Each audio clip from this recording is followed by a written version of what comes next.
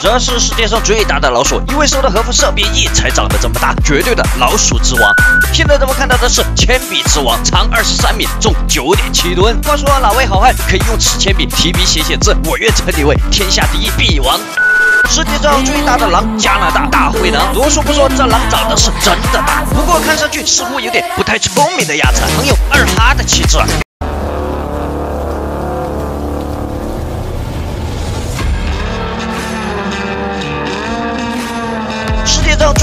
怪兽是谁？不用质疑，当然是怪兽之王哥斯拉。哥斯拉在电影里差一点点就被机械哥斯拉给撕票了，不过好在有惊无险，最终卫冕冠军。怪兽之王，世界上最高的人，也就是身高之王。网络上流传身高之王是美国的罗伯特潘西，身高达到了恐怖的两米七二。要知道，篮球巨星姚明身高也才两米二六，普通人在他的面前跳起来才能打到他的膝盖。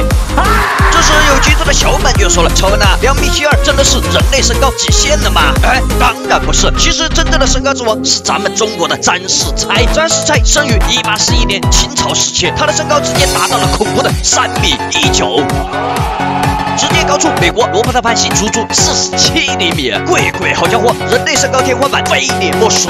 世界上最帅的人也就是靓仔之王，当然是现在正在看视频的小伙伴了。感谢靓仔靓仔的点，